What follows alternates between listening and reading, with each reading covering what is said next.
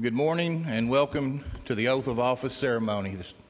Today, six individuals that have been elected by the citizens of Blount County will be sworn into office and will then work to represent the people of Blount County to the best of their ability for the duration of their terms. This is a tremendous responsibility because the people have put their faith and their well being in each of these elected officials' hands. No matter the position, this is an important day for these elected officials and an important day for Blount County. This time, I would like to ask the Reverend Lucas Claybo from the First Baptist Church of Maryville to come up and lead us in an invocation.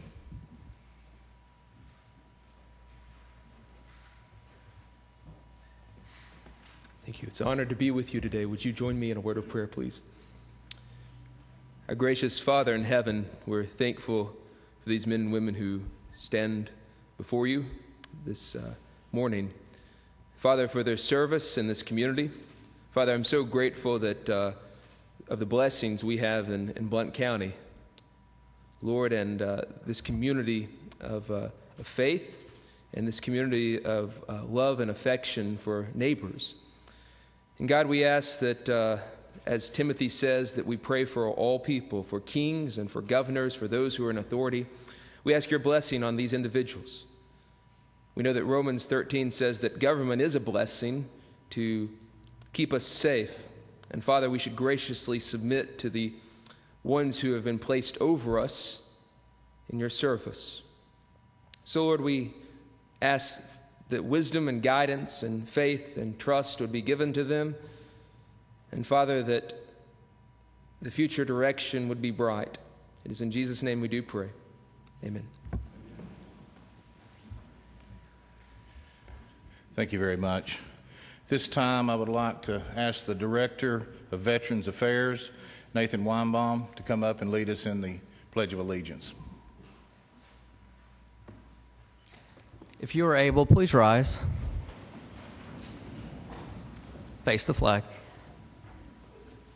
I pledge allegiance to the flag of the United States of America and to the republic for which it stands, one nation, under God, indivisible, with liberty and justice for all.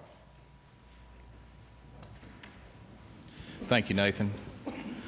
Uh, we now have some remarks that were, are going to be presented by Judge William Brewer.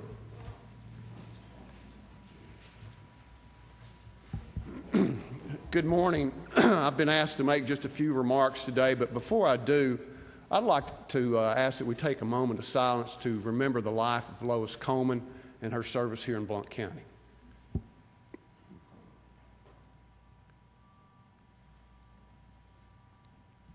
Thank you. Normally, uh, this time in the morning when I'm facing a crowd such as this in my robe, uh, after about 30 minutes or so, people start going to jail. Uh, I don't think that's going to happen today, uh, but just to be safe, I'm going to limit my remarks to about five minutes, okay? to the six of you that are taking the oath of office today, in just a few minutes, to your family, friends, and supporters, please accept my congratulations. I've always enjoyed swearing in day. It's a happy day and a happy occasion. It's almost like a wedding day. Choosing to pursue public office is like a courtship, only you're trying to woo the voters. You get to know them, they get to know you. Some of you had a difficult courtship. You had rival suitors. Some of you didn't. When you pop the question on election day, all of you that are here got the answer that you hoped for. Today is the formal ceremony. Soon you will get to say your I do's. Occasionally, when I do perform weddings for folks, I tell the happy couple that everything leading up to today is the easy part. The real work begins when the honeymoon is over, and I'll suggest the same to you. For better or for worse, I think this internet thing is going to catch on. I was Googling around some topics to talk about briefly today, and I settled upon elections and public, public office. And we'll talk just briefly about that, a few things. There are historical references to elections that go back to ancient Greece and Rome. But what we recognize as elections today actually began approximately in the 17th century when our representative form of governments began in Europe and North America. Currently, in the United States, there are over 80,000 elections per year for public office. Over the years, a series of amendments to the United States Constitution and other laws have been enacted to expand the right to vote or to make the right to vote easier. The 13th, 14th, and 15th Amendment to the Constitution, as enforced by the 1965 Voting, Voting Rights Act, gave all men over the age of 21 the right to vote. The 19th Amendment in 1920 gave all women over the age of 21 the right to vote. The 24th Amendment in 1964 made a poll tax illegal. The 26th Amendment in 1971 lowered the voting age to 18. And in 1994, Tennessee, to, to the Tennessee Early Voting Act came into effect. All this being said is that now more folks are eligible to vote and it's a lot easier to vote. And yet, this past election here in Blount County, based on some numbers provided to me by Libby Breeding, only uh, out of 73,569 people registered to vote, only 12,688 people chose to do so. That's 17%, a meager 17%. Contrast this with some other countries in the world where voting is compulsory. That is, you're required to vote by law. For example, in Australia, if you fail to vote, you can be assessed a $20 penalty. If you fail to pay the, the assessment, or if you cannot provide a good explanation for why you didn't vote, you can be prosecuted in court. And if found guilty, you can be fined $50 plus the court cost. Just think, if we had compulsory voting here in Blount County, sadly, I believe the county's debt could be retired in a few elections. now, I realize this election cycle has just been completed, but another one will occur in just two years, less than two years, actually. Some of you taking the oath today, as well as many of you that are here, will be involved in the next election.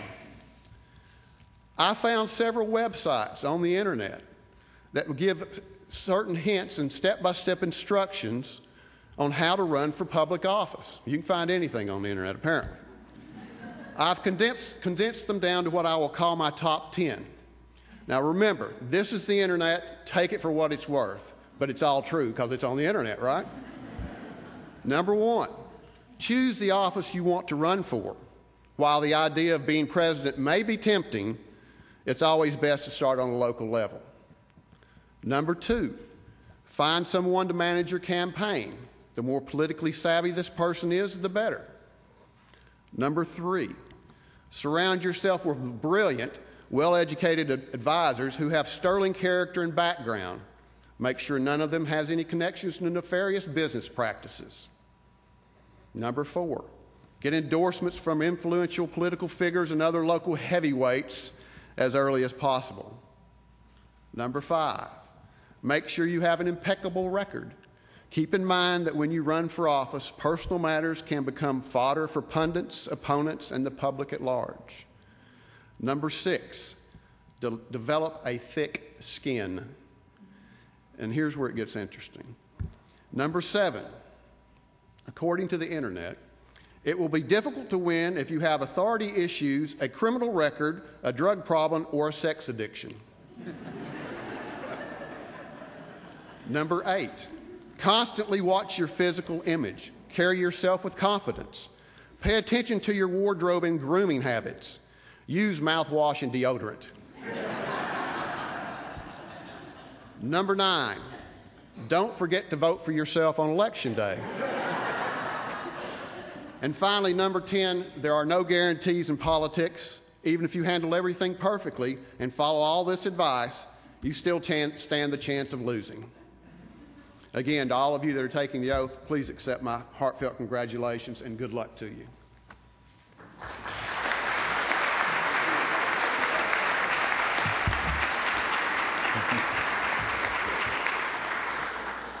Thank you, Judge. I'd like to have a copy of that whenever you're through there. Uh, Our first oath of office today will be uh, Judge Tammy Harrington, Circuit Court Judge, Division One, and the oath will be administered by Judge David R. Duggan.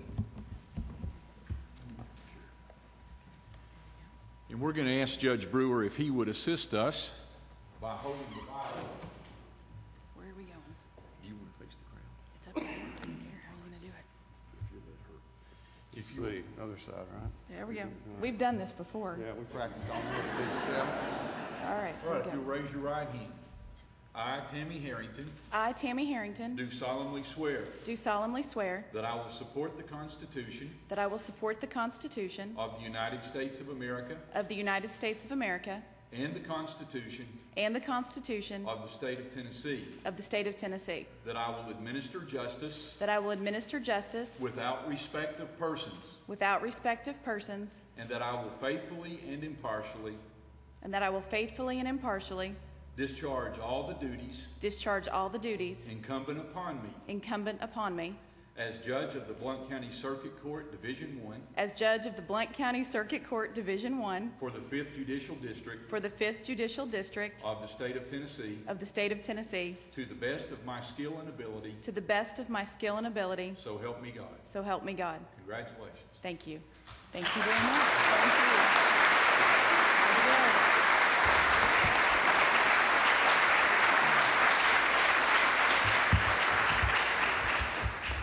Thank you. Our next oath of office will be Property Assessor, Mr. Tim Helton. Uh, Tim, if you'd like to come up here with your family, please.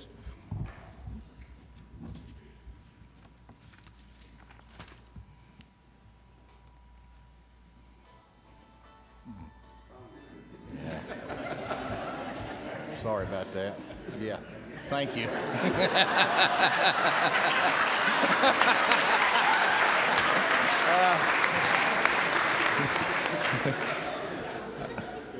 Amy, if you would, get me another phone, please. Come right around here. Okay, if you would, please, place your left hand on the Bible and raise your right hand. Repeat after me.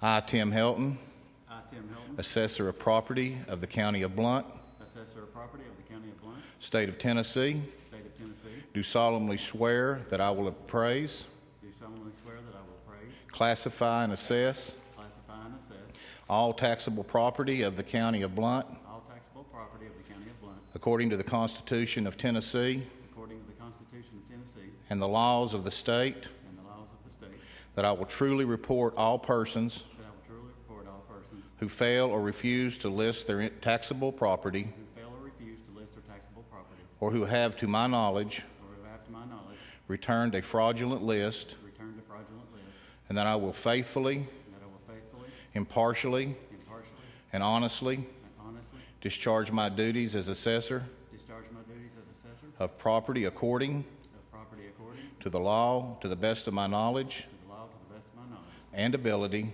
ability, without fear, favor, or affection. without fear, favor, or affection, So help me God. so help me God. I do solemnly swear I do solemnly swear to support the Constitution of Tennessee to support the Constitution of Tennessee and of the United States, and of the United States, and to faithfully perform the duties of assessor and to faithfully perform the duties of assessor for which I am about to assume. for which I'm about to assume. Thank you. Thank you.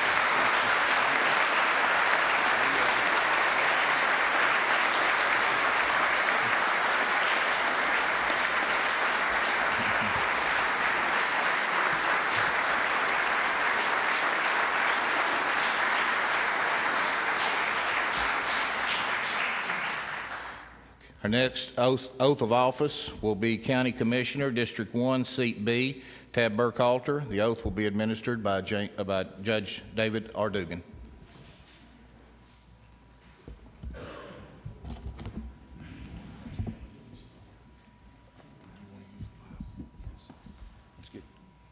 Judge Denton, we're going to ask you if you would assist us this time.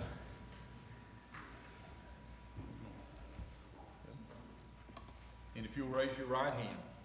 I, Ted Austin Burkhalter Jr., I, Ted Austin Burkhalter Jr., do solemnly swear do solemnly swear that I will perform with fidelity that I will perform with fidelity the duties of the office the duties of the office to which I have been elected to which I have been elected and which I am about to assume. and which I am about to assume. I do solemnly swear I do solemnly swear to support the constitutions to support the constitutions of Tennessee and the United States of Tennessee and the United States and to faithfully perform and to faithfully perform the duties of the office of County Commissioner the duties of the office of County Commissioner representing Seat B of the First Commission District representing Seat B of the First Commission District of Blount County, Tennessee. of Blount County, Tennessee. Congratulations.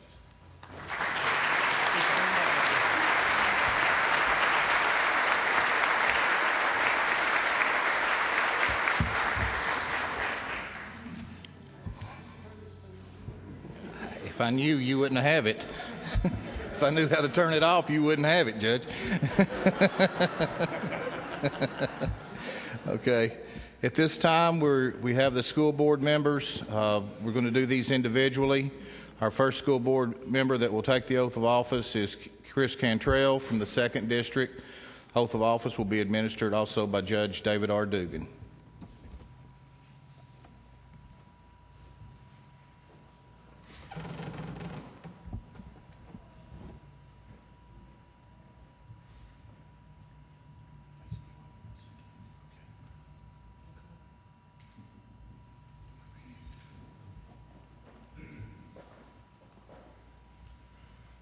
If you would raise your right hand. I, Chris Cantrell, I, Chris Cantrell, do solemnly swear do solemnly swear that I will perform with fidelity that I will perform with fidelity the duties of the office the duties of the office to which I have been elected to which I have been elected and which I am about to assume. And which I am about to assume. I do solemnly swear I do solemnly swear to support the constitutions to support the constitutions of Tennessee and the United States of Tennessee and the United States and to faithfully perform and to faithfully perform the duties of the office the duties of the office of member of the Board of Education of member of the Board of Education representing the Second Education District representing the Second Education District of Blount County, Tennessee. of Blount County, Tennessee. Congratulations.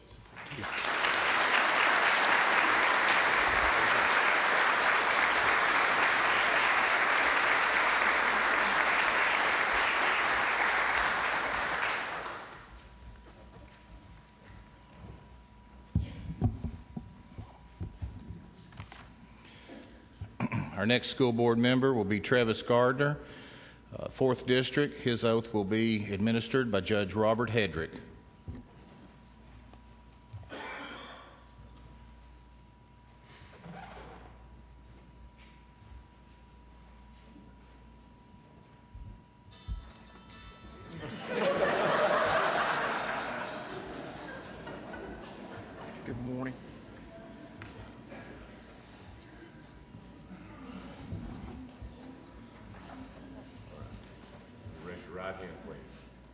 I, Trevis Gardner, I, Trevis Gardner, do solemnly swear do solemnly swear that I will perform with fidelity that I will perform with fidelity the duties of the office to which I have been elected the duties to the office to which I have been elected and which I'm about to assume.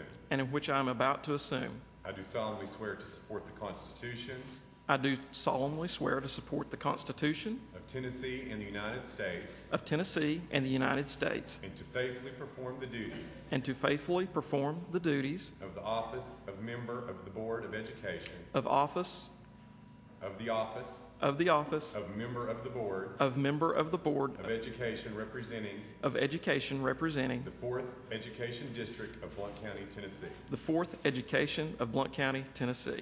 Congratulations. Thank you.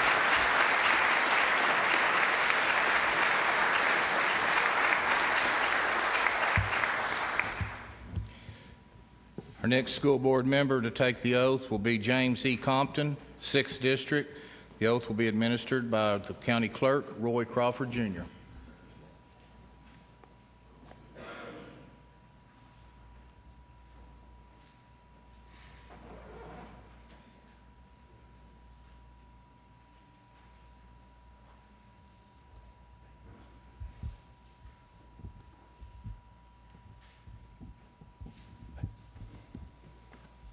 Mr. Compton, are you ready to take? Yes, sir. oath of office?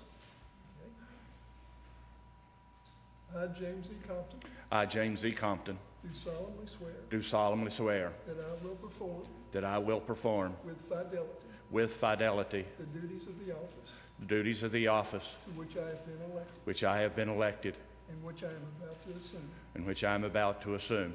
I do solemnly swear I do solemnly swear to support the constitutions to support the Constitution of Tennessee and the United States of Tennessee and the United States and to faithfully perform and to faithfully perform the duties of the office and the duties of the office of member of the Board of Education member of the Board of Education representing the Sixth Education District representing the 6th Education District of Blount County. of Blount County. Thank you.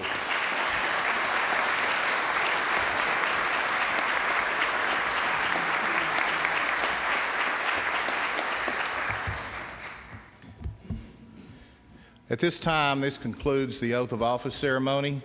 I will say that there will be a reception held following this ceremony in room 433, which is right down at the end of the hall, and it is being sponsored by the Blount County Republican Women. Thank you all very much for coming. Appreciate everything and have a great day.